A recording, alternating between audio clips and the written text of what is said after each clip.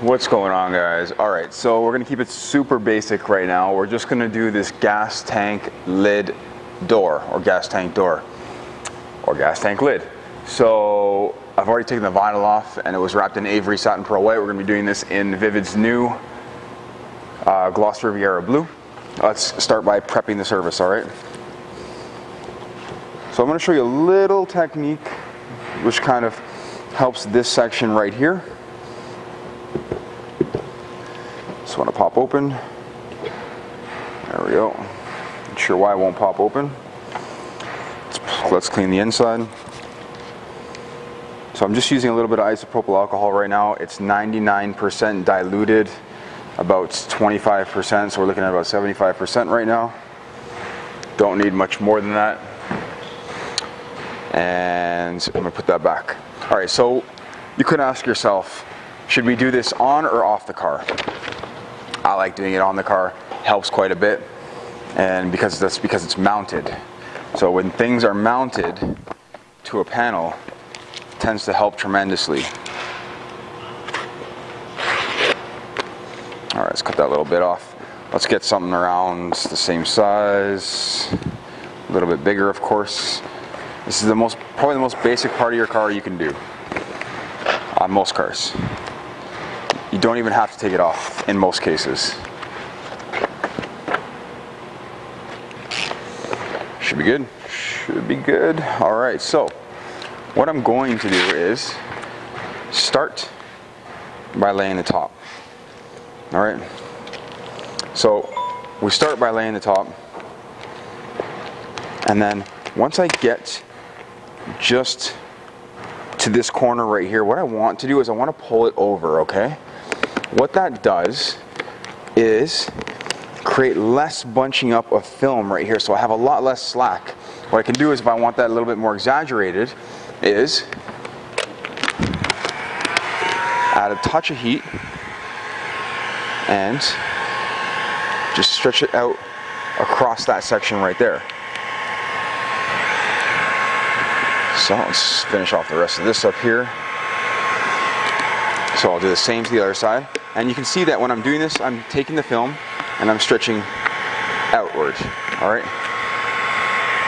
Because I want to shrink all this back if I've, if I've stretched it.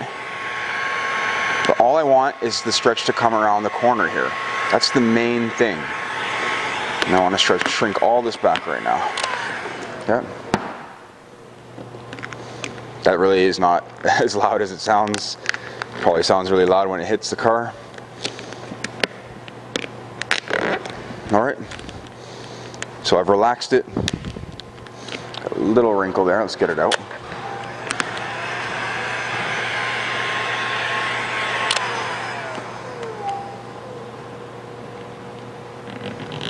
There we go.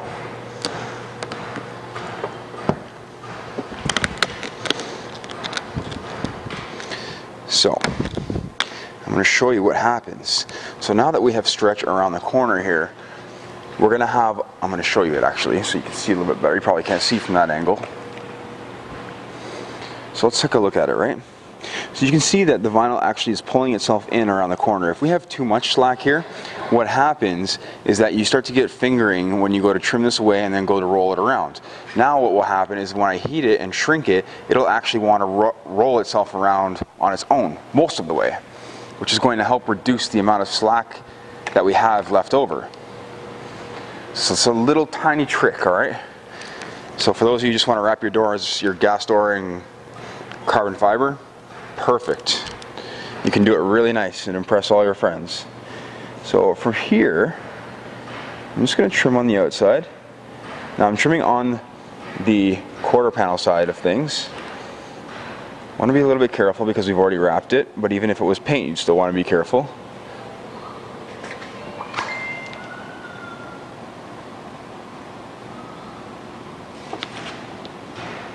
When it comes to trimming, what you want to do is find a guide, all right? Get your 30 degree blades. I find they're the best. And find a guide. So the reason why we cut on the opposite side is that it's more or less a guide. Should be good.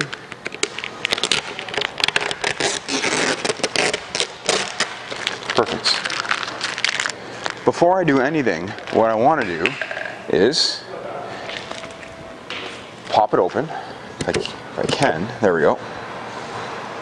And I'm going to leave it open and I'm going to heat it while it's open. So I hope, let's see if you guys can see this here. What happens when I heat this top corner here. I won't be able to see the bottom one very much, but let's do the top one. All right, so it just actually hugged itself on its own right there.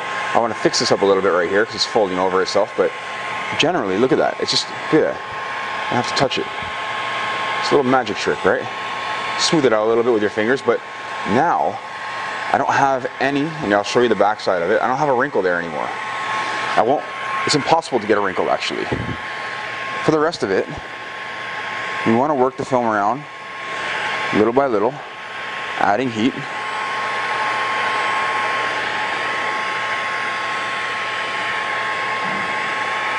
Probably want to use a wrap glove so your finger doesn't stick.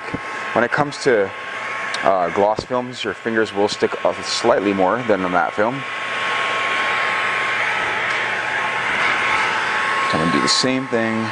And actually, what I wanna do is prop this open. Perfect, so that I have good access to this right now.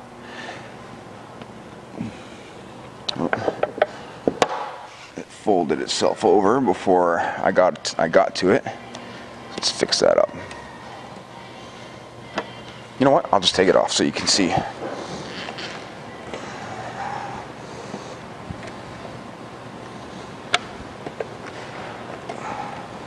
Comes off pretty easy actually.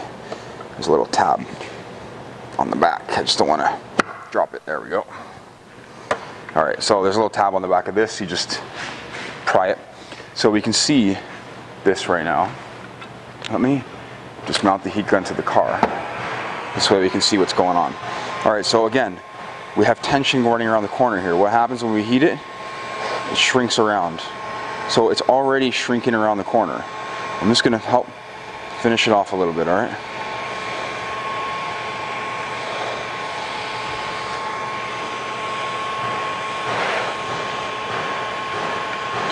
Another little trick is the warmer you make it when you're doing these edges here, the easier it is going to be to get the wrinkles out from the corners.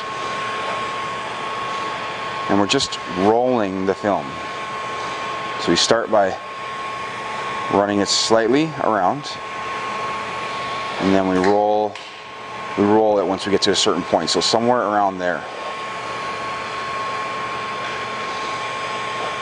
so I'm going to start pushing down adding heat pushing down rolling it around all right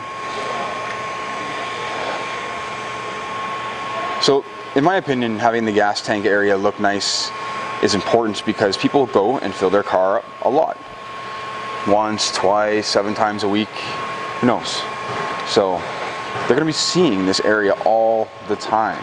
So we can see it's not, it's not zigzagged. There's a little bit excess on the bottom here compared to the rest, but it's not jagged, it's not wrinkled, it doesn't look ugly, there's nothing wrong with it at all, all right?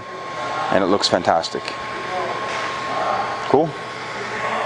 Let's turn this off. So that is one little technique that I wanted to show you guys hope you're enjoying the color by the way because I haven't even actually done any videos on this color yet. I will do them, I promise.